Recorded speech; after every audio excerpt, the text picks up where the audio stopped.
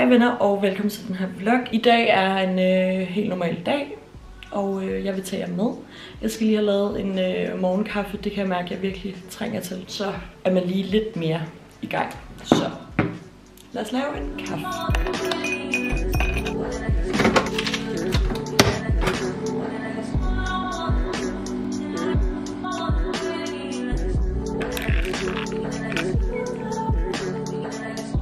Jeg har lige siddet og fået svaret på lidt mails, og nu tror jeg lige, at jeg vil hoppe i bad, få gjort mig lidt klar, og så øh, gad jeg godt lige filme en øh, TikTok, så det er planen. Og vi har forresten øh, spisebords kaos herhjemme. Det er noget af en historie, men vi har købt det her spisebord, og nu ligger det simpelthen her.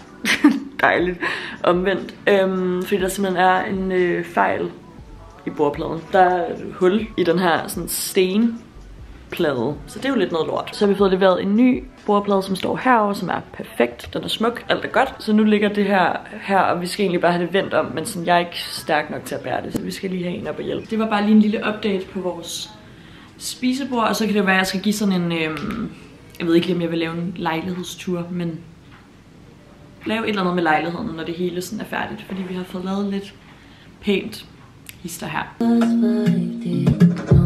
Tætte, de kan sange, kommer hen og seng Men jeg er altid med dig Når der er uden tøj på, vi samme Jeg har fået gjort mig klar, og jeg tænker at filme en TikTok med sådan styler en denim nederdel. Så har de været ved at lægge lidt frem her på sengen. Jeg ved ikke helt, hvor mange outfits det skal være, men jeg tænker, at den er kommet ud, når I ser den her vlog. Så hop ind på min øh, TikTok og se, så kan I se the final result. Jeg tænker noget med noget skjorte, læderjakke, sådan en blonde bluse. Lidt forskelligt. Så lad os komme i gang. Så har jeg lige lavet et lille setup her med min phone. Pisse smart. Så tænker jeg, at jeg sådan kan stå her. Det er så det gode ved, at spisebordssituationen er sådan der. Fordi normalt ville spisebordet sådan være her. Men nu har jeg lige et lille godt spot. Så er jeg lige blevet færdig med at filme TikTok. Jeg føler, det blev godt, men det er altid sådan, man skal lige sidde og klippe det og sådan noget. Så må man se hvad det er blevet til. Øh, vejret er seriøst så dejligt. Louis han har altså rigtig slået sig ned og nyder, øh, han nyder sgu solen. Musen dog. Men nu kan I lige se, hvordan jeg har rodet lidt her.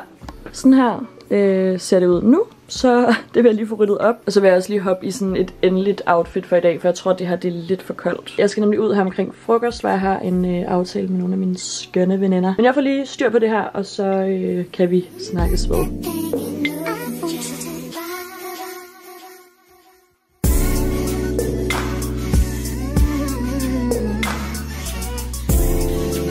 Lige steam den her jakke, fordi den er lidt krøllet, og det gider vi ikke. Og jeg brændte mig seriøst på min steamer her den anden dag. Øh, det var det voldsomt. Det, jeg tror, det er, jeg får et ar efter det. Det er jeg ikke så tilfreds med.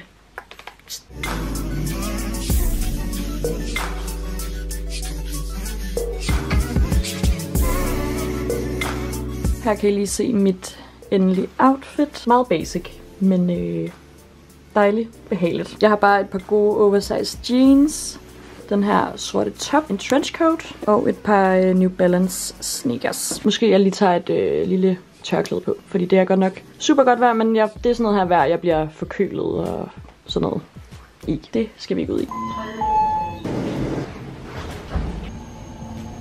Jeg er så dårlig til at vlogge i offentligheden, men øh, jeg er på vej ind til byen. Hvorfor er jeg helt forpustet? Jeg går så hurtigt. Det er et fun fact om mig. Jeg powerwalker. Altid.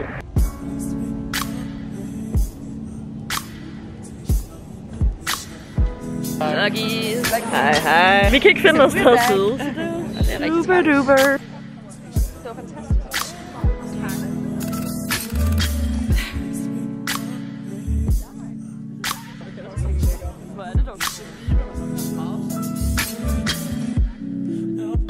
Kommer sgu op på flyttefaren. Tag jeres kamera. Du skal... Ja, så Hallo. videre. Skal vi sige skål for forår? Yeah.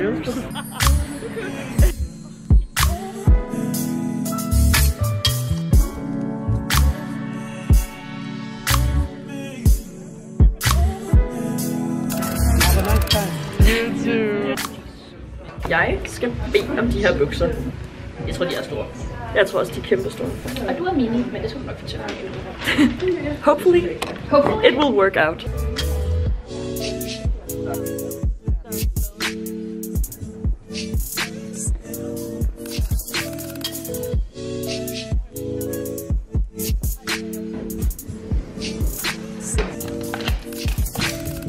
Se en lille mus at komme hjem til. Han har simpelthen valgt at lægge sig i puderne og ikke i øh, sin kurv.